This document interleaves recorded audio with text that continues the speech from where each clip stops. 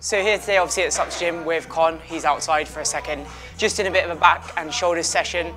Obviously you guys have now seen chest and arms, leg training, that kind of thing, so I thought it'd be good to take you through a back and shoulders session.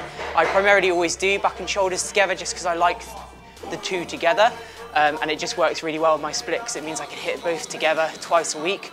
Um, and again, I've always done it like this, so you know, if it ain't break, don't fix it. I've only ever manipulated training around sort of certain goals at that time.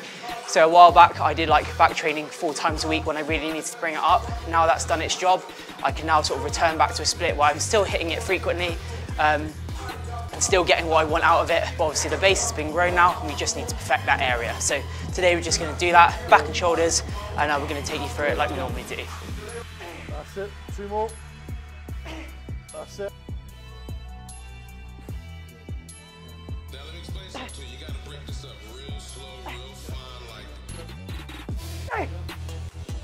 Predominantly recently we've been doing more like this kind of variation just to get things moving. So yeah, typically we would start with these just to get the blood flowing, get my mind to muscle connection there. Um, and I just like to start with these kind of things because it opens everything up as well. Obviously in this day and age we're on our phones, on laptops all the time. So it's nice to open things up, get activation there where I want it to be, and then just start doing the heavier work as the session goes on. Oh. Good. Good. Good. Let's go. Come on. Come on. Come on. Come on. And down to the left. Alright. Nice. Good. Come on. Come on. It. Just that bottom half. Let's go. Come on. Come on. Come on. Come on. Squeeze. Come on. Me three. Let's go. Come on. Oh. Yep. Two. And one. That's it. Nice. Good. A nice squeeze. That's it. Stretch. That's it. Nice. Good. Good. That's it. One more. One more. One more. That's the way. Quick shake off. Back into full range now. Yeah. Speed it up a little bit now. Get it moving. There it is. There we go. That's it. Good. Good. Yep. That's it. Come. Six. Come. Five. Four. Good. Three. Good. Two. One. That's it. Stay there. That is. Nice. Good. Yep. Good. Come on. Good. Three, two, and one. That's it. Nice. Very nice. Very nice. Right.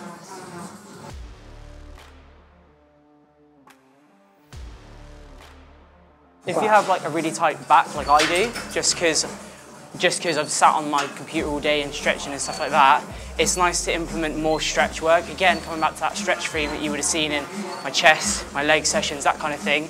It's always nice to come into these and use some form of weighted stretch because arguably it's going to help activate the muscle better because it's not in that tight, tightened position. So again, it's nice to go into this movement. I'm already quite tight because I had legs yesterday um, we did loads of glute work and stuff like that. So it's nice to come into here, have a good old stretch and then feel like I'm getting a little bit better activation in my lats from having this prior stretch technique in, involved. I do roughly. I um, obviously when it comes to heavier movements, I do try to make a note, but it's not day-to-day progression on, or you know, weekly progression. Sorry, on stuff like you know, we've got to beat this on squats or anything like that. The whole progressive overload is kind of achieved over periods of time. But you know, if you come back to dumbbell press, you haven't done it for a while. Normally, by the time we come back to it, you are doing it heavier. If you've improved muscle mass and other movement, it should become transferable. So we do do track it so I know the maximum weight she's lifted on all the more important movements. You know, your isolation stuff on like shoulders and stuff normally stays around same rep ranges, uh, same weight, sorry, for Yeah. extended rep ranges, stuff like that. But when it comes to like, you know, I know the heaviest weight she's squatted on, the heaviest leg press, the heaviest Yeah. rows, etc. So I know that how many reps the last time and her, and her best is on a dumbbell row, for example. And obviously I keep track like that, but not I say, every week needs to be a constant form of like get an extra two pounds on it or get an extra kg on it, or whatever. I've said this time and time again, but Connor knows exactly what I'm capable of doing, what's there on the day, how I'm feeling, that kind of thing. So, but when we've been working together for about three years now, so, and you know, people may be like, oh, you can't improve without progressive overload. When it comes to progressive overload or some form of progression, it's not just about the weight, it's also about tempo, the form, how you lift something and stuff like that. So, you know, it's important not to get so encompassed by the weight that you're lifting, because if you're lifting 10 kilos heavier, but your form's a load of shit, then really can you argue whether you've progressed on that lift or not? And if people want to argue, then look at the progression that we've achieved in the last few years by this method of training. So it's really important not to get so encompassed by how much weight you're lifting, but how you're lifting and your connection with it. Because obviously if you're lifting something you're not getting good connection with it, then what's the point in lifting it? So, I mean, there is a time and a place for rip and grip style stuff. Like we're doing slightly sloppier reps now, but we've done the contraction stuff, we've done the slow stuff. So now we can just allow for a little bit more slack in the reps, in the reps and stuff like that in the form, because we've already kind of activated where we need to activate. So I think, again, there's a time and a place for it, but use a combination of kind of like rip and grip style and contraction slow stuff, and you're onto a winner, to be honest, because that's how we've done stuff. So It's like combining the old school and the, the new school type arguments. Yeah. There's, you know, benefits of both and you know, the Exactly. arguments we have, so we try to use a bit of both when Yeah. it's necessary, you know. Yeah, because people get so so ingrained in being like, oh, new school super slow stuff. But then you look at people like Ronnie Coleman and Branch Warren, who literally ripped and gripped their back training. All their all their training was rip and grip style, and they were some of the best, if not the best, bodybuilders in the world. So it's kind of like not being so encompassed about. You know, it comes back to that paralysis by analysis. Like if you're overanalyzing every fucking single thing, are you really enjoying what you're doing? And is it just over the top? Just go into the gym and enjoy what we're doing. Like I always say, like I became a bodybuilder because I love to train. I didn't become a bodybuilder to train. So it's all about enjoying what you're doing and all about opening your eyes up to try new things and not being so like analytical with all your movements and shit like that. So that's really important. Just enjoy training.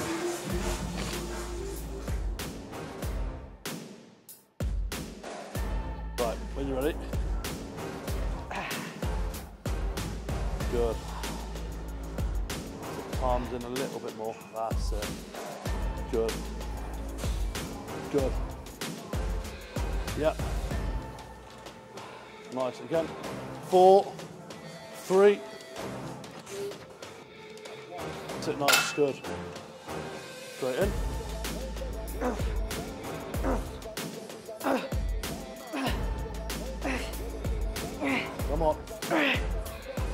That's 10. 10, 9, 8, 6, 5, 4, 3, 2, 1. Sit. Come on. Come on. Good. Keep going. Keep going. Come on. Seven, six, five, four, three, two, and one. That's it. Nice. Very good. Nice. Come on. Seven, six, five, four, three, two, and one. Come on. Let's go. Come on. Yep. Yep. It. Let's go then. That's it. Come on. Ten. Nine. Come on. Eight. Seven. Five. Four. Three.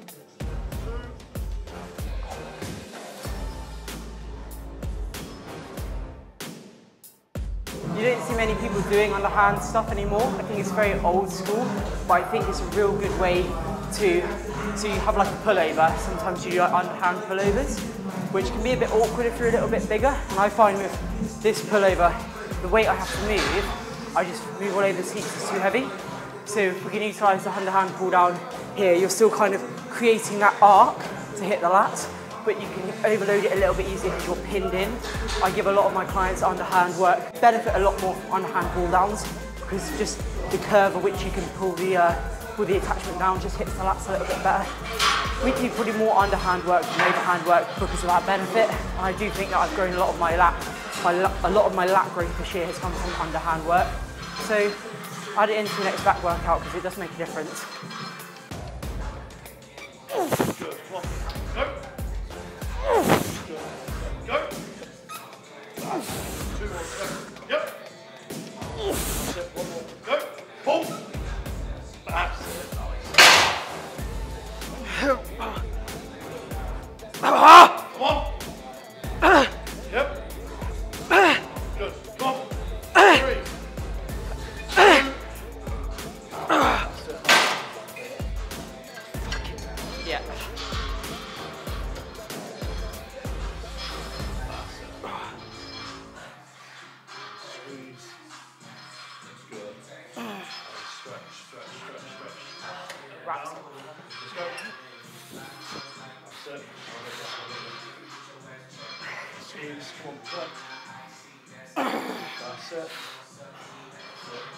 Squeeze, come on, come on. Come on, come on, come on, come on, come on, come on,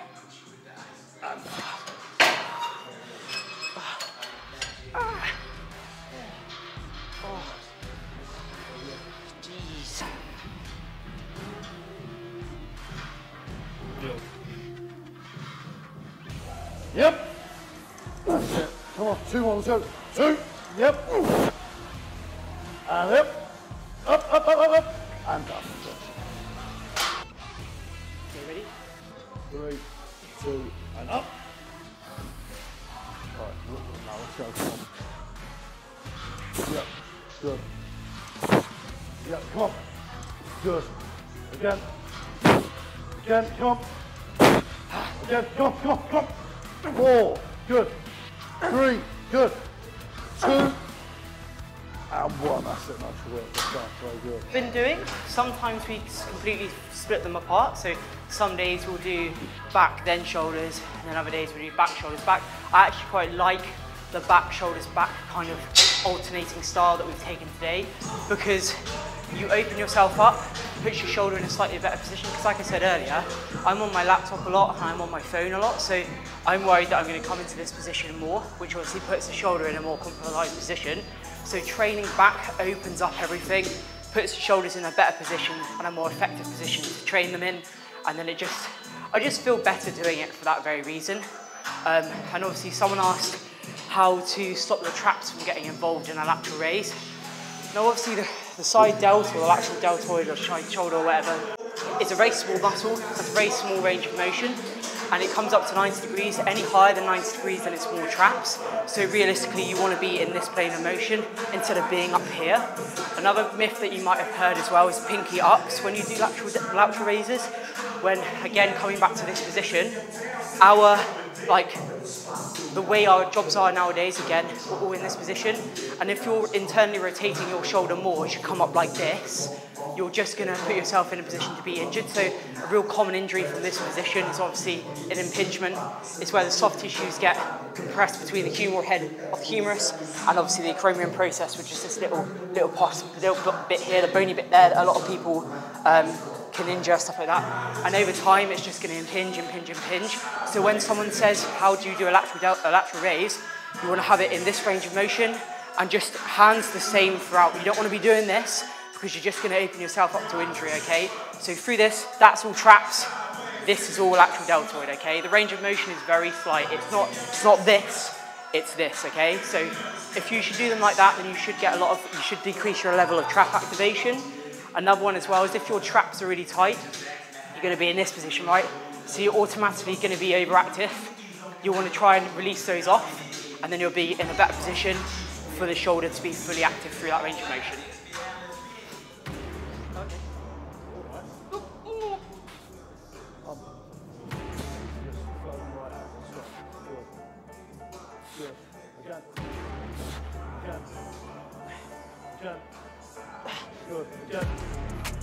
Good. Again. Yep. Again. Good. Again.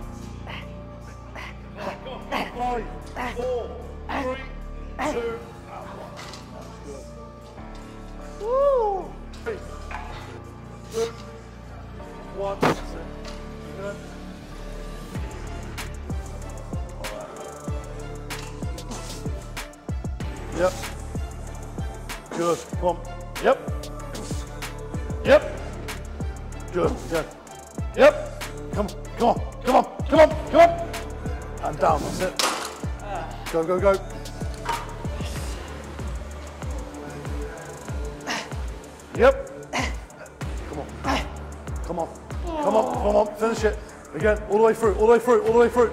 That's now. Let's go. Come on then. Yep. Yep. Come on. Come on, come on, come on, all the way, all the way, all the way. Up, up, up, up, up, up, up, up. That's it, nice, good. Yeah, come on, pump them, pump them, pump them. Eight, seven, six, five, four, three, two, one.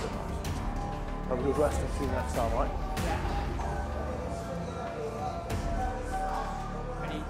Yep. Good. Yep. Yep.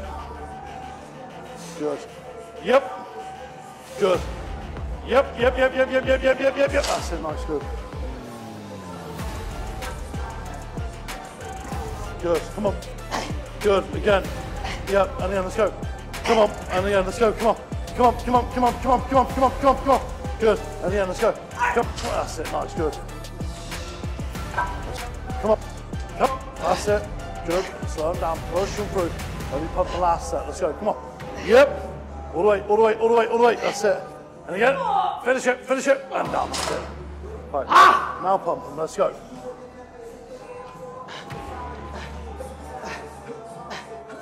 That's it. 10, 9, 8, 7, 6, 5, 4, 3, 2. Very good. That's that. So that's today's session, so back and shoulders. Um, as you saw, it was kind of like starting on back with those real specific contractile areas. So like that shortened range of the lat going to the lengthened range of the lat. So bottom portion to top portion and then a full range motion at the end of that one.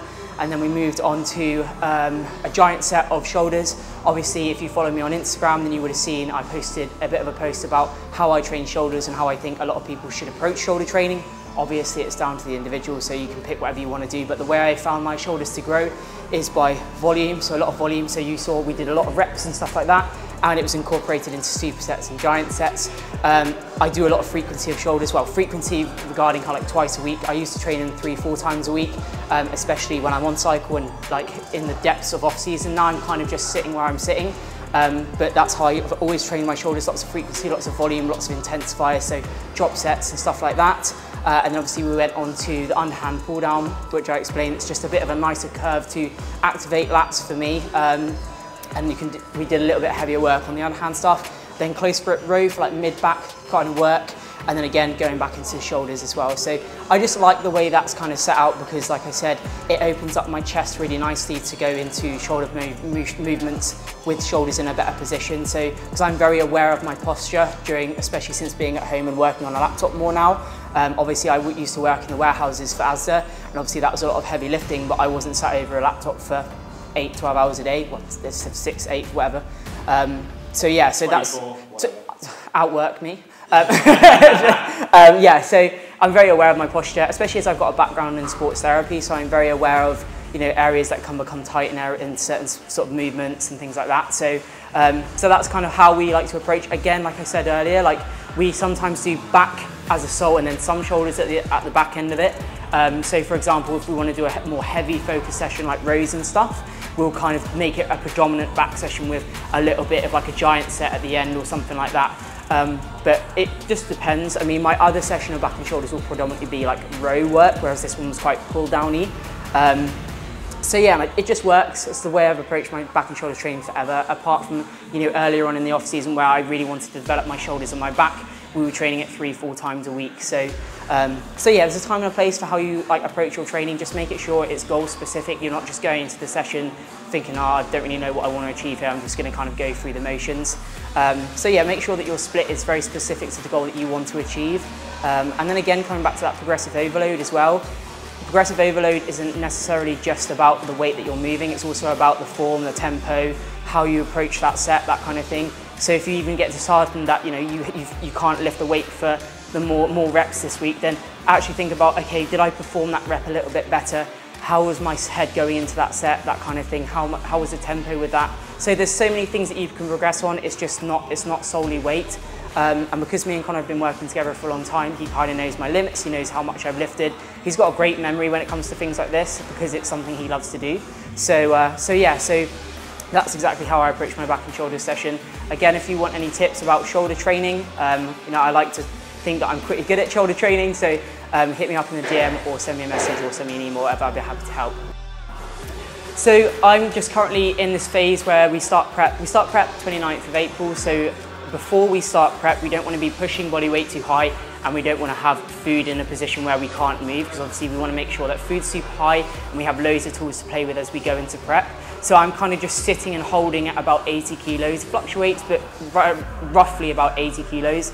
Just to put into perspective, my heaviest during my off season was 84. That's when I was on cycle, really pushing food. My food was quite high this, this year. I kind of got up to 700 grams of carbs on like uh, off days. And I think it was like 550 grams of carbs on, on rest days. Um, and obviously protein kind of stays very level. Uh, on my training days, it's about 185. And on my rest days, 195. Fats go up to 75 on rest days and on training days they're 65. So a good amount of kind of food going in. Um, but yeah, we start prep on 29th of April.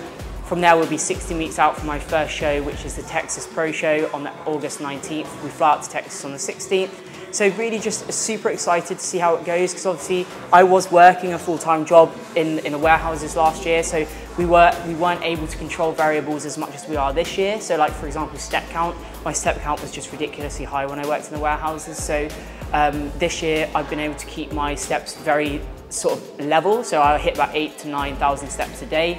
Um, and now we can be like, if Tom wants me to elevate it to say 10, 12 or 15,000 steps, I can do that and we know exactly what my activity level is. Because obviously when I was in the warehouses, I was lifting all day, heavy, like heavy products, moving, rotating all the time. So being able to control expenditure that much more is just going to make such a difference. And I honestly think my physique won't look so tired all the time now because even though expenditure was much lower this year, you know, I've been able to grow much better because that expenditure wasn't so high, been able to rest and recover. So that's kind of our plans going forward. Obviously, I'll update you on everything as you go through. I mean, you will see my moon phase change much more so as we go through the prep because um, that's normally the first thing that will start to come in. So you'll know exactly when I'm on prep. But next time I'm with Laz, I will have started prep. So that's plans going forward. Training will probably not really set, change. Um, if anything, Connor will probably push me harder. Uh, obviously, he already pushes me really harder, but like I think when I'm in prep, he switches his mindset to make sure that everything is going into each session, and as much as I can give, he, I'm giving it to him. So that's the importance of having him around as well. When it gets to like the last two weeks of, of prep, having him next to me and by my side is just the most is, is a blessing in disguise because you know a lot of the things that I've been able to achieve I wouldn't be able to do it without him or Tom so you know I, I owe a lot of to the I owe a lot to those two lads so yeah, but again, that's how the plan is going forward. Um, I'm really excited to see what I can do this year. I'm really excited to see how I stack up in my second year of uh, my pro career. So, but yeah, that's the plan going forward.